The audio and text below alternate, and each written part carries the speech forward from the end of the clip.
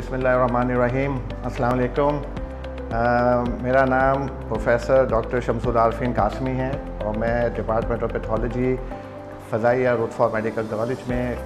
काम कर रहा हूँ। वर्ल्ड हेल्थ डे के हवाले से मैं ये पैगाम देना चाहता हूँ अपने तमाम स्टूडेंट्स को भी और आवाम को भी कि अपना बहुत ख्याल रखें कि इस वर्ल्ड हेल्थ डे सात अप्रैल को वर्ल्ड हेल्थ डे के हवाले से हम जो है, अहद करें कि हम जो एक बेहतर माहौल पैदा करेंगे सेहत के हवाले से